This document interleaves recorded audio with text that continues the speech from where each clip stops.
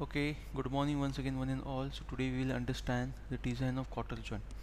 Now basically cotter joint is used to connect a two coaxial rods which are subjected to either axial or tensile compressive load. The condition is that the axis of rods to be joined should be collinear and there should not be any relative angular movement between the two rods.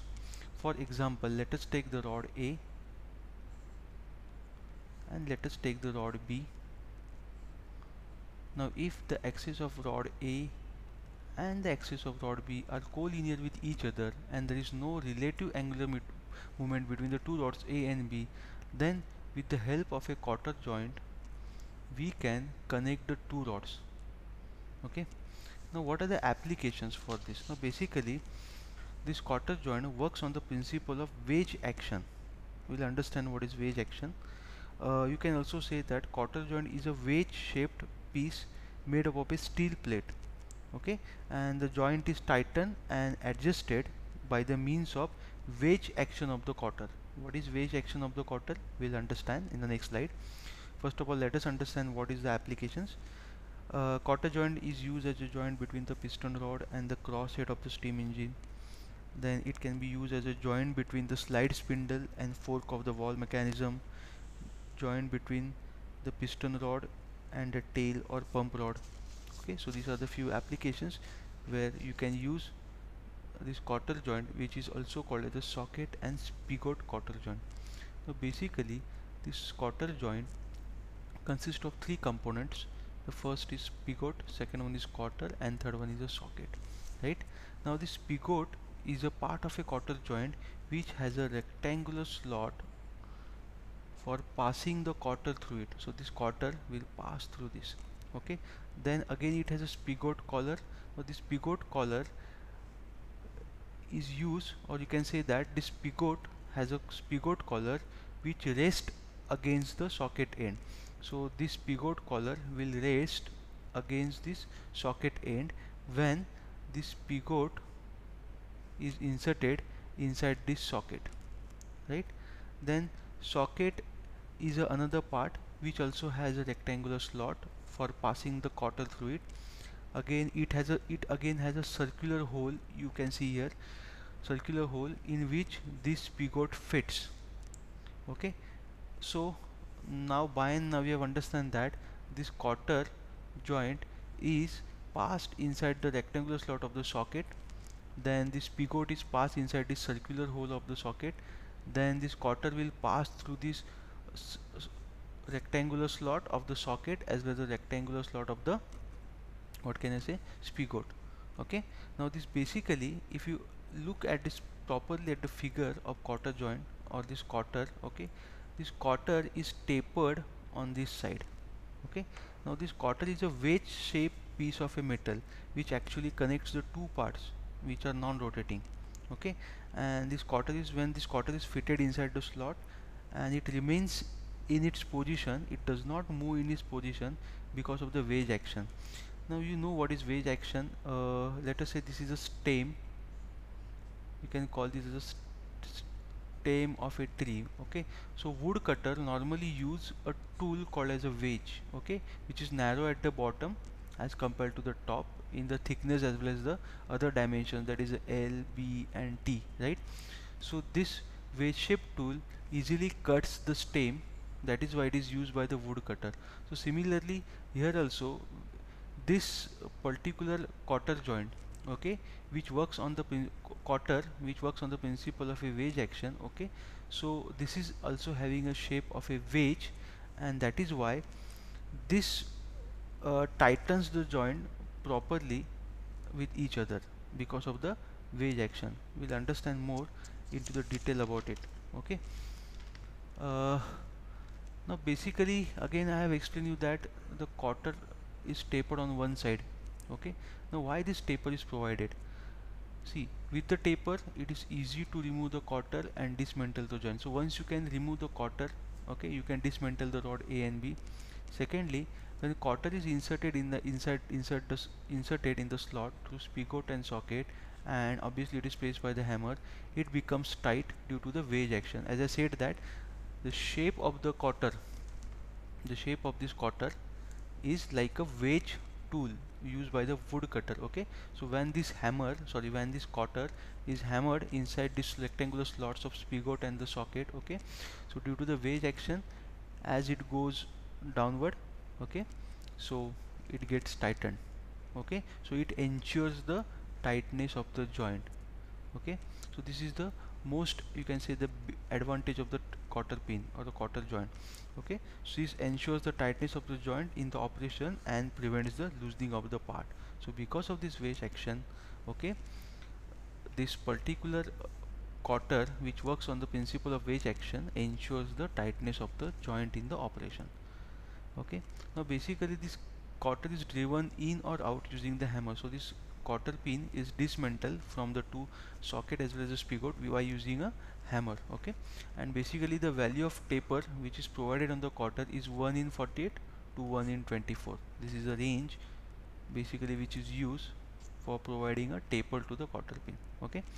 Now you can see this particular picture that is assembly of a cotter joint components. So you can see that this is a socket okay which has been inserted inside this circular sorry this is the socket and this is the spigot so you can see that this spigot is inserted inside the socket as well as the cotter with the help of this cotter socket and spigot so basically these two rods A and to B are connected to each other with the help of this socket with the socket cotter and the spigot right? I hope you understand. So the basic procedure is same as compared to the knuckle joint. Slightly changes we'll understand. So advantages of cotter joint. So it is simple to design and manufacture simple to assemble and dismantle and a very high tightening force due to the wedge action which prevents the loosening parts in the service this is the most important this most important advantage I can say. Because of the wedge action the wedge shape of the cotter pin okay it provides a very high tightening force. Means what? This cotter tends to less loose loosen in the particular operating service okay? Now let us understand the FBD of the cotter joint. Okay? So the FBD of the cotter joint is similar to the knuckle joint. So now let us consider this rod A okay which is connected to the socket. Rod B which is connected to the spigot okay? So spigot will get inserted inside this circular portion of the socket as well as this cotter will get inserted inside the rectangular slot of this spigot as well as socket.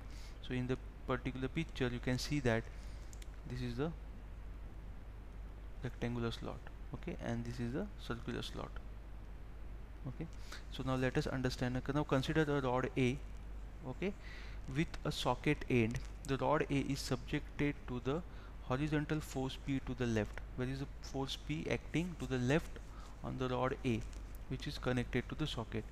Now we know that sum of the all the horizontal forces acting on this rod A should be sum of all the horizontal forces acting on rod A should be equal to 0 so there should be a force P to the right acting on the socket but this particular force P is divided into the two equal parts that is P by 2 and P by 2 at the two ends of the socket. Okay? Because this socket is having a hollow circular portion inside so this partic this particular which is called as a socket collar okay? So upper end of the socket collar and lower end of the socket collar on both the ends this force oppose equal and opposite force p by 2 and p by 2 will be acting okay? So this will balance the this will make the system equilibrium okay? Now again consider a rod B. Now I'm considering a rod B. So the rod B is connected to the spigot right? So again the rod B is subjected to, to the force P where? To the right side okay? So as I said that again sum of all the horizontal forces acting on the rod A should be equal to the 0 sorry rod B should be equal to the 0 okay. So what will happen? There should be a force P to the left side on the spigot N. Okay. So now you can see that this force P acting on the right side of the rod A and this P by 2 and P by 2 acting on the uh, sorry this p is acting to the left side and p by 2 and p by 2 acting towards the right side on the rod a makes the system equilibrium similarly this p to the right and this p to the left on the spigot end connected to the rod b makes the system equilibrium now the forces shown on the cotter this is nothing but a cotter pin the forces shown on the cotter are equal and opposite reactions of forces acting on the spigot end of the rod B and the socket end of the rod A. Now socket end of the rod A means what? These are nothing but the forces P by 2, P by 2 acting on the socket end of the rod. So this P by 2 and P by 2 will oppose this P by 2 and this P okay the force which is acting on the spigot end towards the left which it will be opposite opposed by this force P which will act on the cotter joint cotter pin so again similar to the knuckle pin okay this cotter will get break into the three pieces right? It will break into the three pieces again. So obviously when it will get break in or you can say shear into the three pieces so this cotter pin will be subjected to the bending as well as the shear stresses. So we have to design this cotter pin for the bending as well as the shear stresses. In knuckle pin we have find out D here we'll understand what are the dimensions to be find out. Okay? I hope you have understand the FBD now this is a basic figure which will be taking but I will use one simplified figure also. So socket end force P spigot end force P. Okay? Now see where are the hollow portions? The hollow portions are nothing but a weaker sections. So here in the socket here there is a rectangular slot as well as again this is completely a hollow portion here there is a rectangular slot okay? So the chances are there that at this particular points there can be a failure okay? So we'll check for this also right? So so now I'll be using this figure okay to design the socket and spigot type cotter joint okay? So now let us understand one by one this figure so first of all let us understand the notation. So let us say p is equal to load on the joint or pulls acting on the load. So each time I have to go back now. So these are nothing but the p or the force acting okay? Then d is the diameter of the rod. This is a let us say rod a which is connected to the socket. Rod b remember connected to the spigot. So the two rods which are to be connected should have a diameter let us equal to d. Is it clear now d1 is the outer diameter of the socket. What is d1 outer diameter of the socket. First of all slowly and steadily let us understand the notation. So outer diameter of the socket. So what is the socket? So this is the socket. So this outer diameter okay outer diameter of the socket. So what is outer diameter of the socket? D1 okay. So let us say this is the d1 that is the outer diameter of the socket okay let us say d2 is the diameter of spigot this is nothing but a spigot so let me call this outer diameter d2 now the diameter of this diameter d2 that is the diameter of this spigot will be equal to this inside diameter of the socket. What is this? Again d2 because this d2 is inserted inside this socket. So the diameter d2 and the diameter d2 I have considered the same. That is the outside diameter of the spigot will be equal to the inside diameter of a socket. Is it clear? So let me move back. So I have considered this following notations. So what is D T1 outer diameter of the socket. What is D2 diameter of spigot that is outer diameter of the spigot because spigot is not a hollow uh, portion so it will not have a inside diameter but socket is a hollow so it will have a inside diameter. So inside diameter of the socket and the diameter of the spigot is D2 now what is D3 outside diameter of the spigot collar. Let us move back which will help you to understand. So this is nothing but a spigot okay? So this spigot will have a slightly higher diameter as compared to this D2 so let us say D3 is the outside diameter of the spigot collar okay? Now the larger one let us say this is d4 so what is this d4 the outside diameter of a socket collar. Try to understand the notations okay? So how many diameters I have defined? The first diameter of rod D right? Then d1 outer diameter d1 is nothing but outer diameter of the socket. Then inside diameter of the socket is d2 outside diameter of the spigot is d2 d3 is nothing but the outside diameter of this spigot collar and d4 is nothing but the outside diameter of this socket's collar. Is it clear? Now let us consider this thickness thickness of socket collar. Sorry uh, not socket's collar we'll consider this thickness. The thickness of this spigot collar is T1 what is T1 the thickness of a spigot collar okay uh, the thickness of the socket collar is not required in a design. So T1 is nothing but the thickness of spigot collar. Okay?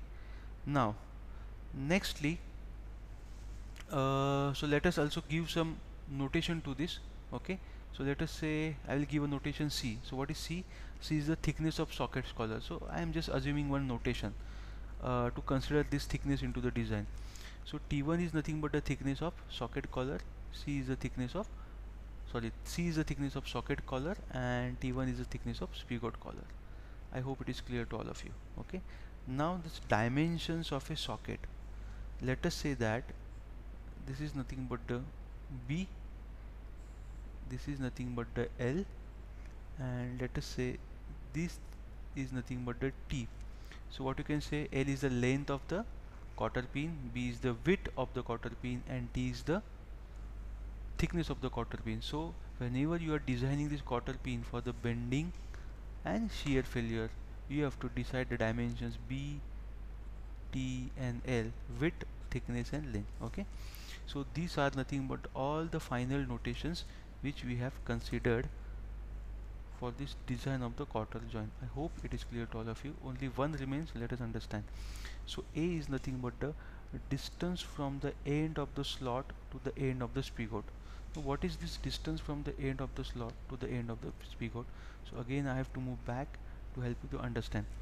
So basically try to understand that when this spigot will be inserted inside this socket. Okay? So let me draw a figure for help you to understand. Let us say this is a okay. So let us say this spigot is inserted somewhere here okay inserted somewhere here. And let us say this is a slot okay. Now the slot let us say ends here. This is a dotted line where the slot ends here. And let us say this is the spigot end. So what is C first? A first of all distance from the end of the slot. So this dotted line indicates slot end and this dotted line indicates this spigot end. So when uh, or you can directly consider here also see this distance okay? This distance is nothing but the a okay? The distance between the end slot end and the spigot end the distance from the end of the slot to the spigot end. I think this is more this will be more clear. See this distance. Slot end okay? So this is nothing but the clear. So just for the revision I will revise once and move forward. So D diameter of the rod we'll understand in the combine. d1 outer diameter of the socket. Then d2 inside diameter of the socket or outside diameter of the spigot d3 outside diameter of the spigot collar d4 outside diameter of socket collar t1 thickness of the spigot collar c thickness of the socket collar right? B width length and t is nothing but the thickness of this cotter pin and this distance is nothing but the a. Is it clear? So I hope it is clear to all of you. So this diagram which you have to draw in your particular exam okay? So this diagram is having the same notations what I have explained you right? So let's move forward to the design point of view okay? So let us understand uh, take one statement. Design a cotter joint to transmit the axial tensile load of 50 kilonewton. So now guys try to understand that. There is no any much change in the design steps of the knuckle joint and the cotter joint and both the steps will remain same okay? So let us start with this. So first of all selection of material okay? Now basically rods are sub tensile rods okay? The sorry the rods A and B are subjected to axial tensile load of 50 kilonewton. So what is the strain criteria? Yield strength is the selection criteria okay? Now cotter is again subjected to shear and bending stresses as I have explained you. So strength is the selection criteria basically uh, what is strength of a joint the strength of a joint strength of a joint can be defined as a safe load that the joint can take up. Strength of a joint is the safe load that the joint can take or withstand. Okay. Uh, you can say that the failure of any component is a failure of joint itself. So any component fails, the joint will fail. So these joints basically cotter joint, knuckle joint are designed on the basis of strength. What do you mean by the strength? A safe load that a joint can take up. Okay. Uh, basically it is a I will explain you one general design principle. In a, it is generally in gen, it is general design principle to have the least strength of the component which is easier and cheaper to be replaced in the case of the failure. Means for example in this case if you take an example of a cotter, socket and a spigot, the cotter joint will be having a least strength as compared to the other two. Because if the component fails under certain circumstances it should not fail. But if fails the cotter pin should fail and you can easily replace the cotter pin right? Uh, now whenever you are calculating the strength of the joint you have to consider some points.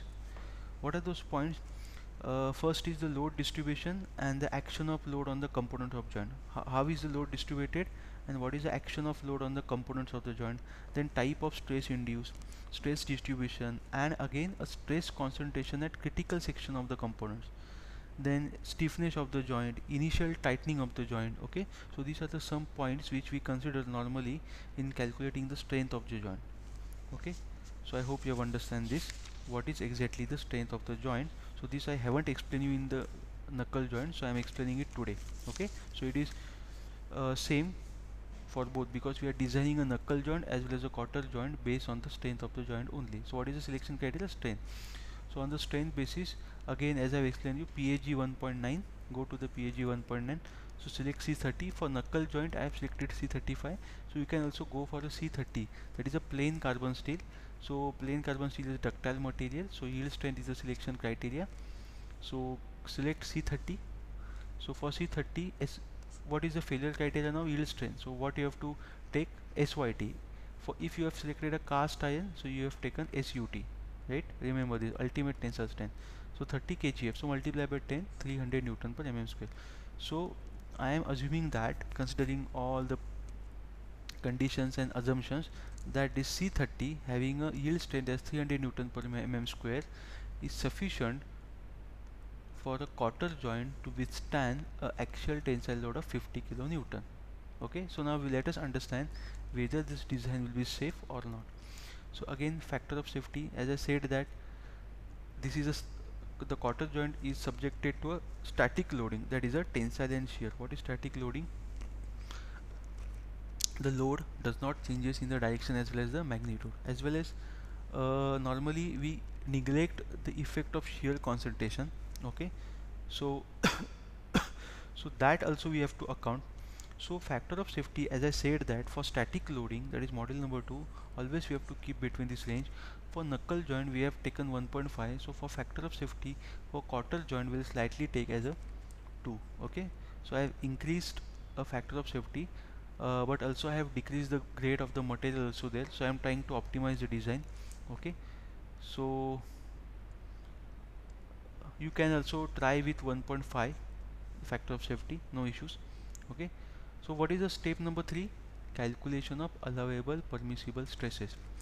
Now what is allowable stresses? Allowable stresses or the permissible stresses are nothing but the safe stresses or the design stresses above which your induced stresses should not exceed not go okay? So how do you calculate the allowable tensile strength? The first is sigma t. Now basically if you consider the joint it is subjected to tensile compressive compressive means was crushing stress. Now what is crushing stress? I have already explained you. It is nothing but a localized stress. So when the pin is knuckle pin was inserted inside the uh, particular uh, knuckle joint okay?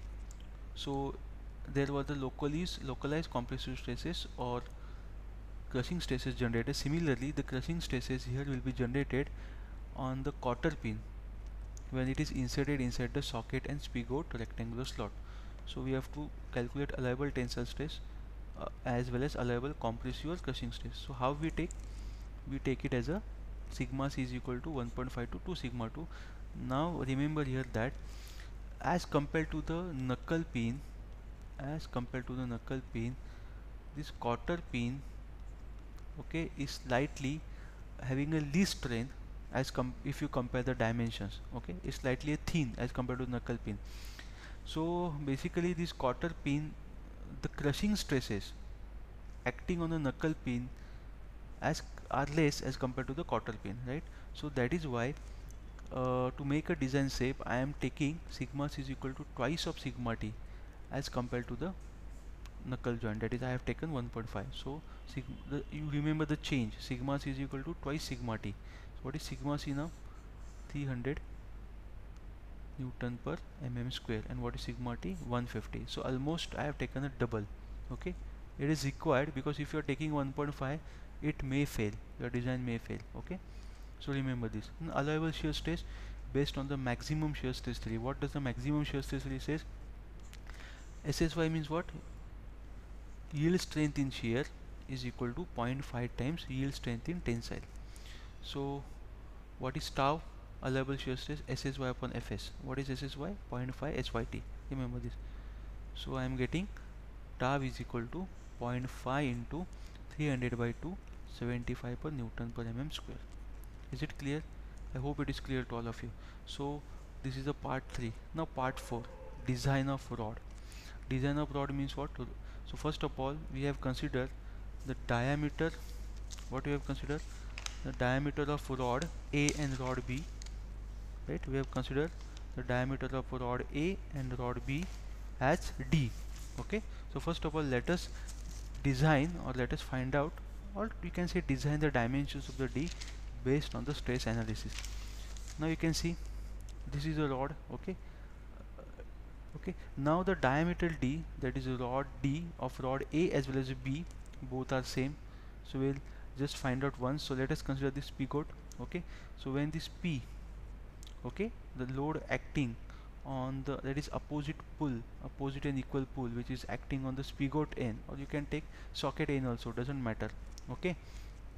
So let us consider the assembly and let us say this side is acting P this side is acting P. Okay now I have already explained you that when the plane of the failure see the plane can you see this plane of the failure is perpendicular to this force the failure is always a tensile force.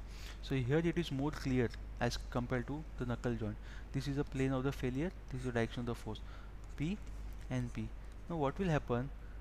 This because of this uh, you can say the direction of the force is perpendicular to this plane of the failure. The failure will be a tensile okay? Means what? You can see that this rod will break let us say if this is the rod okay? And acting P on both the sides. So here it will fail okay? So this rod will break into two pieces okay? Because of the tensile pull or tensile stresses develop okay so obviously this rod is a circular cross section area. So what will be the area resisting the tensile failure? Area resisting the tensile failure will be pi by 4 into d square okay?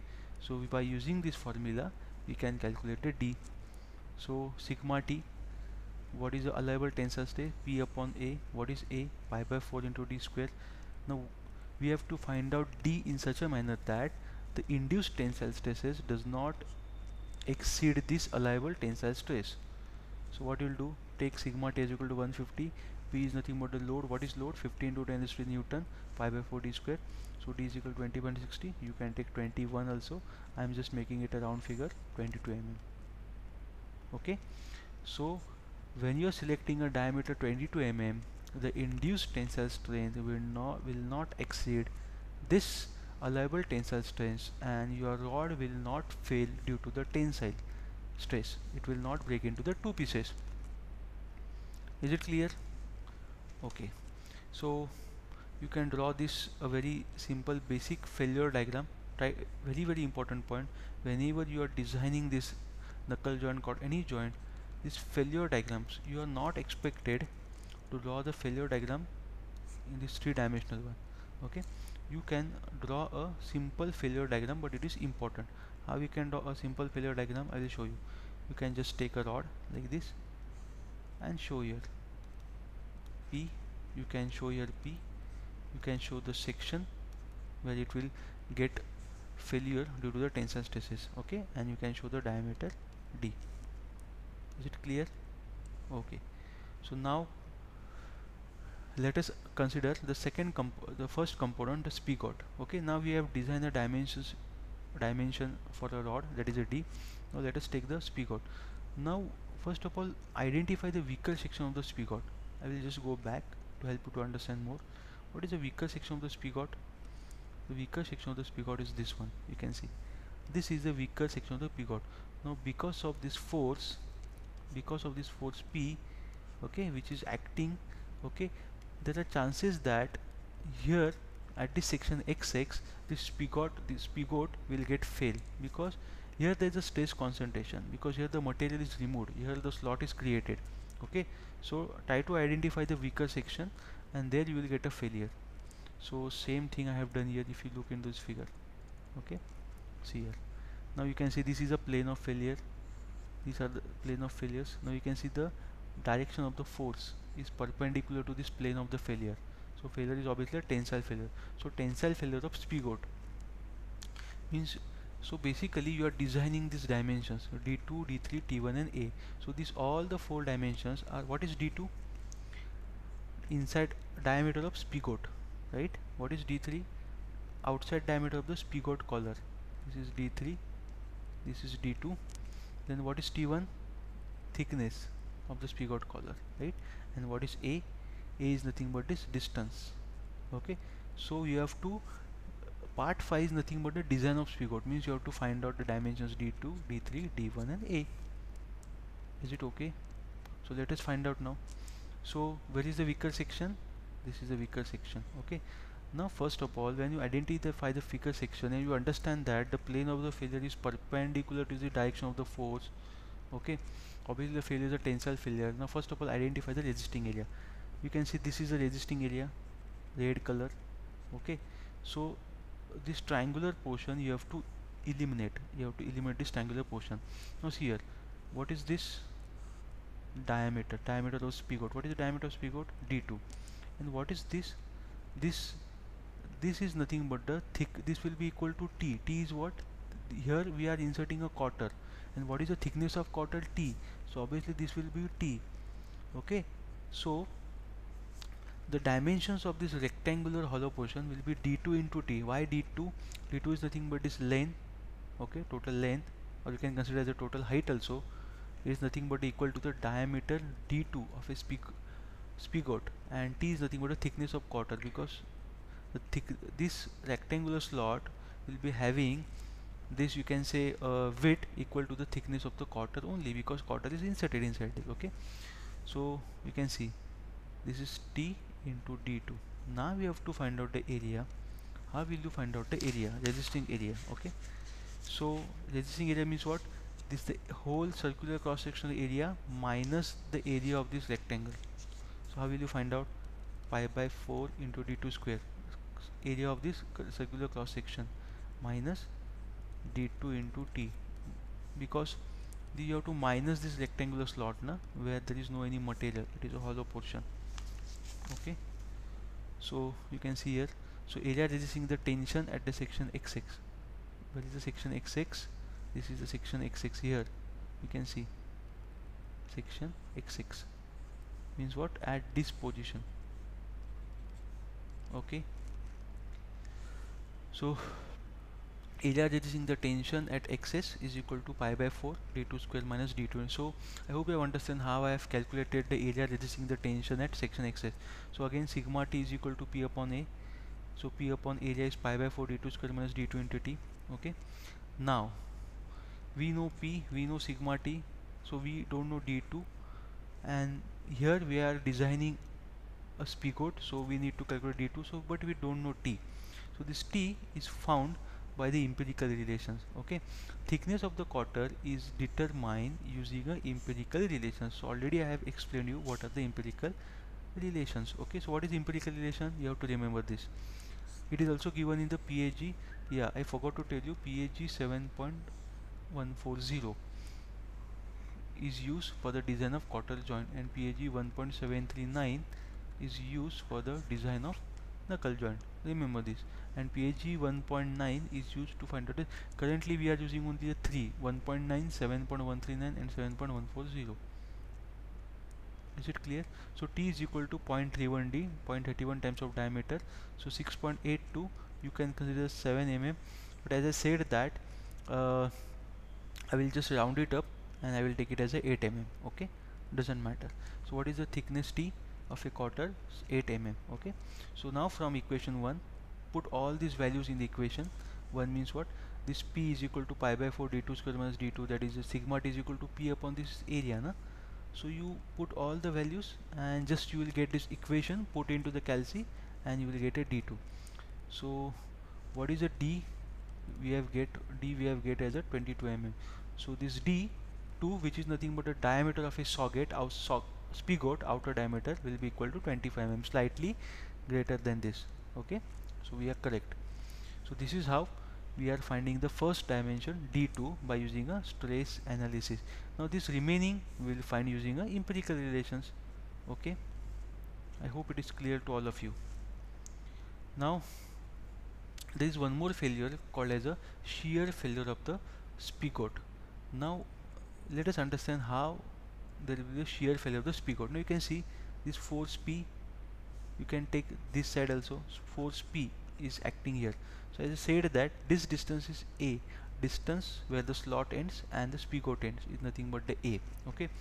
Now this distance A portion if you take this distance A portion I will just okay? What is shear force? Shear force means nothing but you are shearing some shearing some part okay?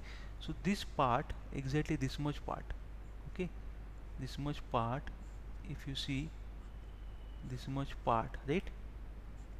You can see this much part. So because of this force P this much part uh, this will be A and this will be D2 so A multiplied by D2 means this rectangular part A multiplied by D2 this rectangular part I will draw here see this rectangular part A into D2 will shear off will come outside because of this force P okay? Now here the plane of the failure is parallel. The plane of the failure is parallel to the direction of the force okay? If let us say this is a force the plane of the failure will be parallel here okay in this case okay? Uh, I didn't got a diagram to show you here but understand that the plane is parallel okay? So let's move on here here you will it will be more clear to you okay? So what is the distance? A. What is this height? D2 so the square or a rectangular having a into d2 as a dimension will come out will get shear off. So there will be two areas resisting the shear failure this area and this side area. So there will be a double shear here okay? Let me make it more clear you can see you can see this part okay? So this portion a rectangular portion or you can see here also d2 into a this rectangular portion okay? Basically what happens this is a weaker section na this slot this slot is a weaker section okay? And here you have a a a small a into d2 portion a rectangular portion. So that normally can come out due to the shear failure okay? So we have to design the spigot for the shear failure as well also.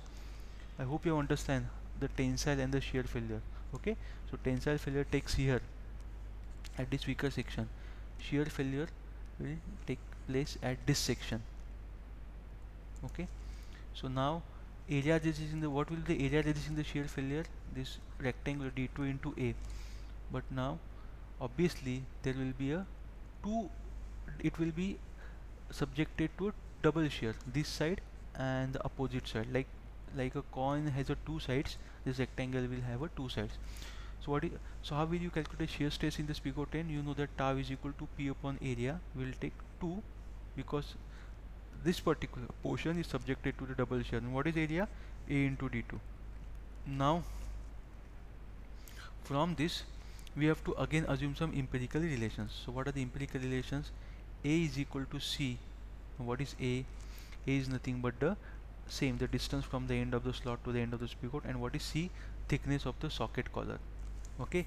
So socket collar thickness is not required in this design but it will be required in the socket design but we are considering here.